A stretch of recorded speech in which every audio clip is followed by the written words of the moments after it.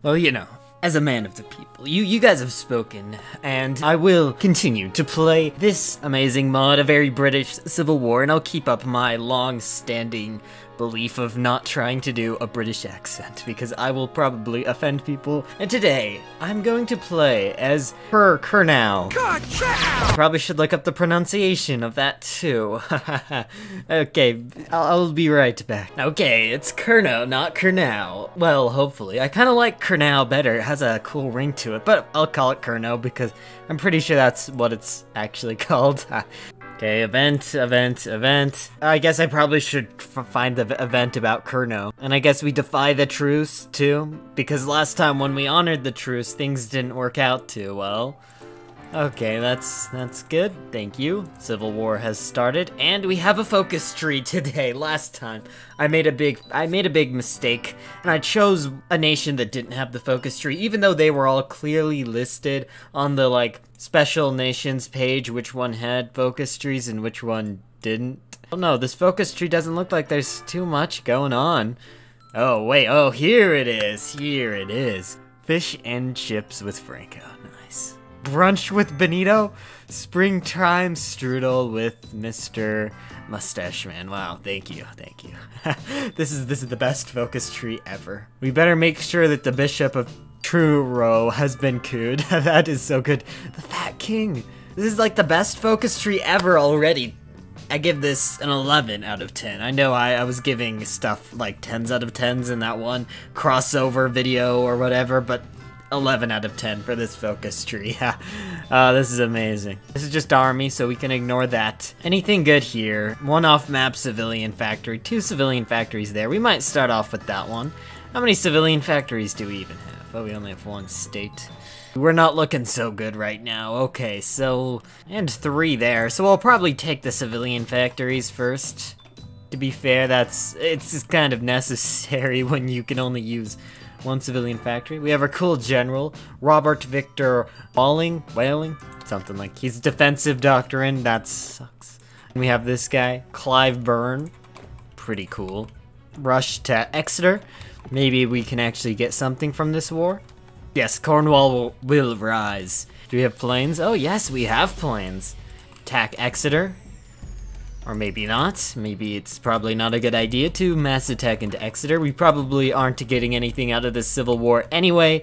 We will not get any war score. Unfortunately, I'm like 90% sure that we'll get zero war score. Well, we'll get war score, you know, just like minimal amounts of war score. We might not get anything out of this first war, but trust me, we will facilitate the great rise of Cornwall. Wait, why did they get it? Why did they get it?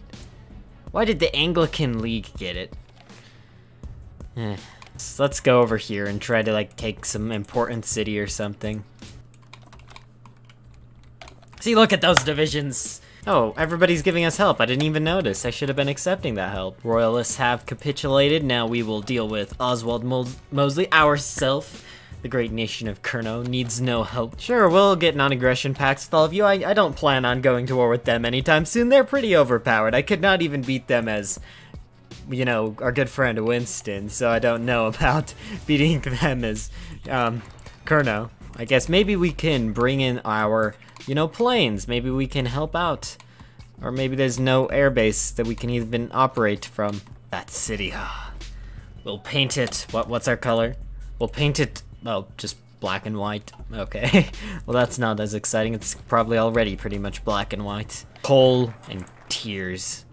How much war support do we have? 5%? Like, okay. As long as we're doing our part, right? As long as we're helping the good old rebellion against Mosley and whoever.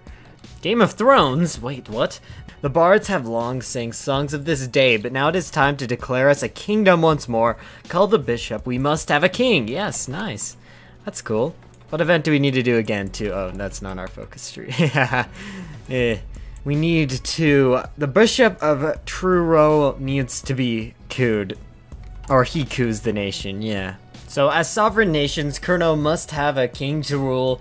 Granted, we have been a democracy for so long, but it is sometimes nice to spice things up, isn't it? Yes, yeah, somebody gets it. And there are many disappointed royals waiting for a shot at the throne of a nation. And what better than the kingship of Kernow? Let us call all those European chaps who want to have a shot at ruling our nation to come to Truno in two weeks' time, and let us go on from there. How do you even say this for sure? Truro? I don't know. It's like a game show. Who will rule? Frederick von Halseron arrives. Okay, somebody Guten Tag. Oh, sure.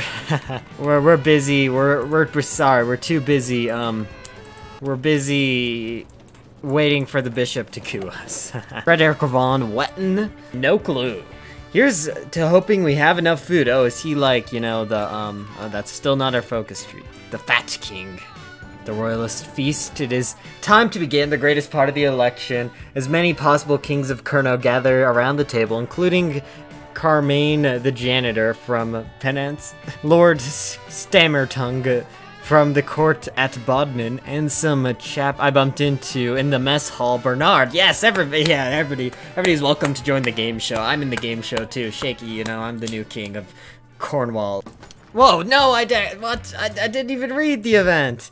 Was there only one option? Oh, I can go check the video. Oh, I can read it from the video, and then I can just pause the video on a still frame. Oh, that's such a genius idea. There were two options when I went back and examined the footage. Maybe, can I like Alt F4? Is that like save scumming or something, I believe? I don't, I don't, I don't know, but it's necessary, okay? It's necessary. Nope, nope, the game is, the game is too quickly saved. Um, okay, well, well, I'll just, you know, hurry, we can hurry and do this again. We can hurry and fix, fix everything. You know, we have to have fish, fish and chips with Franco, or else this, is- this is ruined.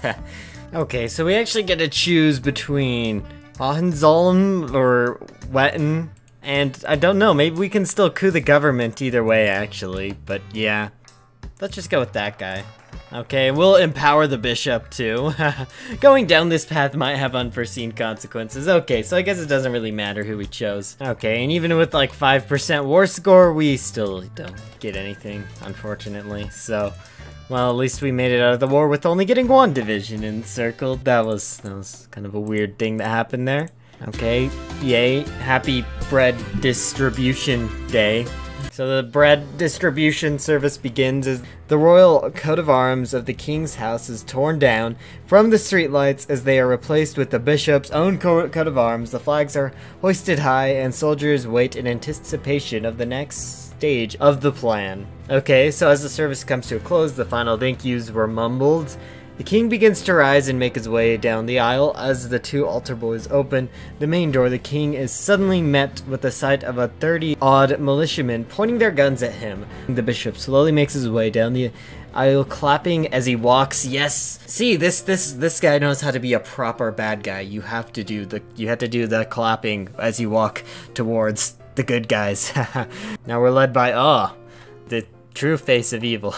yeah, the dramatic clapping, that, I, I give, they, he gets my thumbs up for that dramatic clapping. Nice. The people have elected a king, a foreigner over me, Bernard, a true and honest Cornishman. Oh, so we can, like, have Bernard, like this, you know, honest, nice guy become king. Or, okay, sorry, sorry Bernard, not not today. We have to have our fish and chips. Okay, now hopefully somehow doing the, all these events, you know, gives gives us ultimate power. Uh, hopefully they'll send us help because we're pretty weak compared to most the English countries. So Let's let's fish in ships with Franco at last. Ah, Spania, beautiful beaches, scorching heat, and the eternal hate for the English tourists. Okay, well, oh wait, and even though they're just recovering, okay, so this is after the Spanish Civil War, yeah, I guess. Okay, so a lunch meal with Franco. As the plane flies high above the city of Burgos, two Spanish aircraft begin to escort the Bishop's plane down to the airfield. The plane lands on the airfield, and Bishop is met by Franco himself. Hands are shook, kisses exchanged, and the move towards the lunchroom begins. Franco laughs, following a joke from the Bishop. The couple enter a grand hall, and, and they're, they're they're friends. They they they eat dinner, and now now they're friends. And this this this is the most blessed response ever. Fish makes Franco happy. Yes, Thank you, blessed event. 500 of units of com commandeered arms are added to the nationals. That was kind of underwhelming, but okay, well, it's better than nothing. Maybe Benito will have something better. Brunch with Benito. Uh, that that's uh, you, you don't get enough blessed events these days. Okay, well, and the Yorkist front's getting crushed, but more importantly, you know, we're we're on a trip to Rome for for brunch, I guess. So, you know, the sun beams down over Rome as the small Cornish plane lands on an airfield just outside of Rome. As the bishop walks out, he's greeted by a beaming Benito Mussolini, who quickly shakes his hand, taking his hat off. In the process, the bishop is welcomed into Il Duce's car as the Fiat speeds off towards the city of Rome, with the wind in the bishop's hair, of which there isn't much, though considerably more than that on Duce's head. Or uh, The car makes its way around a few sharp corners, a joke from the bishop about how all roads lead to Rome. Ah! So I don't know, that looks like they're eating stuff. I, am I'm not gonna read it all. You, you can pause and read it if you want it. Thousand units of... Okay. Strudel with Herr Hitler. Even before the plane enters German airspace, all whole squadron of Luftwaffe flanks the bishop's airplane, directing the pilot through the fog that lies in Berlin. Wow, so so majestic. I guess same same thing, pretty much. They they play charades. Wow. Okay, what? what I guess that's that's okay. Panzerkampfwagen one. Okay, sure. Thank you. Thank thanks. I guess feel like I feel like we're still lacking in a means to defeat the Anglican League. They, they easily have like at least 30 or 40 or something divisions. And I guess we're, we're meeting with um the the Archbishop of Canterbury. I guess what, what should we wear? The, the the vest or this is this in between? Is it between this vest and this suit? Oh no, that vest looks pretty rad. Let, let's go with that one. I've never had to choose, you know, the leaders, you know, wardrobe for a meeting in Hoi 4 before. Oh, and even more wardrobe. We can, the top hat or the bowler hat. Oh, you gotta go with the top hat. Yeah, of course the top hat. Okay, Archbishop Cosmo Lang arrives. All that's missing is for King Edward himself to arrive. Okay, that would be cool. Maybe he can arrive and say that we're the legitimate area. Oh, wait, he does. Wait, he was gonna arrive. I thought that was just kind of like a saying, like, you know, oh, all that's left is for King Edward to arrive. Is that like... I, I was... Uh, is that like not actually... Uh, that could be a cool saying. How many... why am I... Why, why is this an event thing? One sugar... Oh, King Edward gets mad. Am I like... What... What... what King Edward... Oh, uh, King Edward glares. Oh. No, sugar is bad for your teeth. Okay, I guess King Edward does not like sugar. What what what is this event, Jane? Just a walk in the park. The business of the tea drinking is complete. There is one thing left to discuss. The bishop is known far and wide in Kernow for his wonderful and well-cultivated gardens. After a whole afternoon of oohs and ahs, that one looked like a dog pissed on it. It's the time for the two guests to leave. On the way out, the bishop gave them these roses look nice today. the lily. Okay, let's let's make um who's the leader of the Anglican League? Is that like the bishop guy? I guess we want the bishop guy to be nice, maybe? I don't know. The T-War. Oh, what? Oh, it was that slight debacle with like what we chose him. Like, wait, who are the royalists? Are the royalists actually still around? Oh yeah, they're right here. And they're a communist puppet. That's great, guys. Thanks for watching this playthrough. I hope you enjoyed. Looks like we're losing to the communists again. I know it happens every time. That is terrible. Yeah, th that was... We, we should have... Yeah, he's technically not even in charge. Maybe we should have let the peace continue. But yep, that's it. That'll be it, guys. Thanks, thanks. That was great. I hope you enjoyed the fish and chips with Franco. It's a maybe next time, maybe next time. We've got through all the events. Maybe we can try to do something better. I don't know. Maybe we'll make the truce be enforced. That might be a better idea, honestly, when we're playing as Kernow. But yeah, see you guys next time.